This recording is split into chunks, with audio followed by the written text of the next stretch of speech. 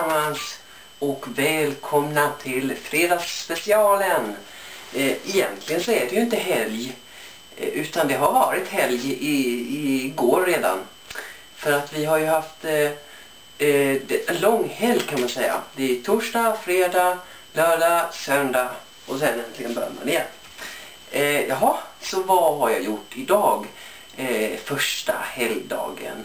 Eh, jag älskling och jag har varit eh, på stan eh, och där så sökte hon en bikini och vi tittade lite på kläder och jag var inne på games. Och sen en annan rolig grej.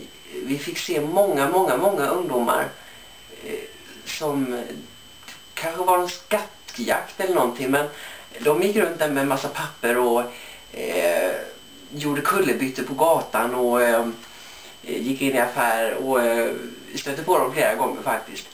Eh, ja, och så såg jag någon som gick som en hund, var på alla fyra och eh, längs eh, gågatan och lite sånt. Så det var ju roligt att se att det hände någonting eh, ovanligt.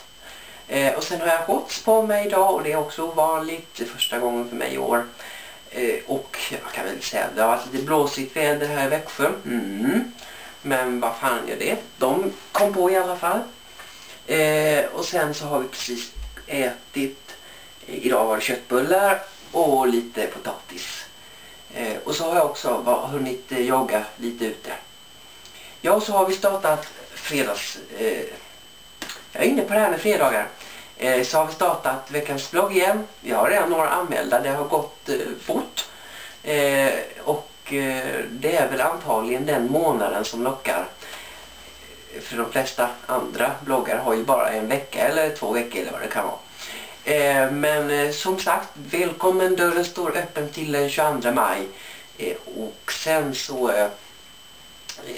har jag tänkt mig en vecka på mig Eh, för att kolla igenom Eh, förhoppningsvis så blir det en hel del så att jag kan ha, som det blir konkurrens om första placeringen. Eh, och sen, eh, det, alltså det passar ju för att man kan köra sånt här lite då och då helt enkelt. Eh, och sen fler nyheter, ja, ja. Ikväll så ska jag grilla med eh, hela familjen och sötnosen. Eh, och sen så ska det bli mysigt med film hoppas jag och sånt.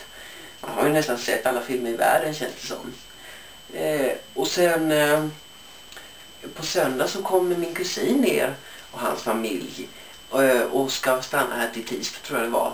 Och det passar ju väldigt bra för på måndagar så slutar jag väldigt tidigt. Eh, så där missar jag inte honom så mycket.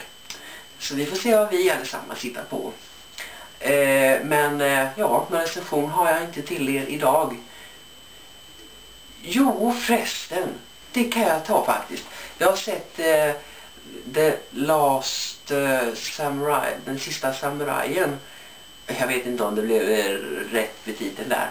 Men det handlar om en, eh, en officer kapten, en mellanrank i eh, den eh, eh, amerikanska armén och eh, det blir inbördeskrig och de ska försöka stoppa det här och Eh, av något eh, skäl så blir han tillfångatagen av de här samurajerna och får stanna där över vintern. Eh, och han lär sig av deras seder och hur de är som personer.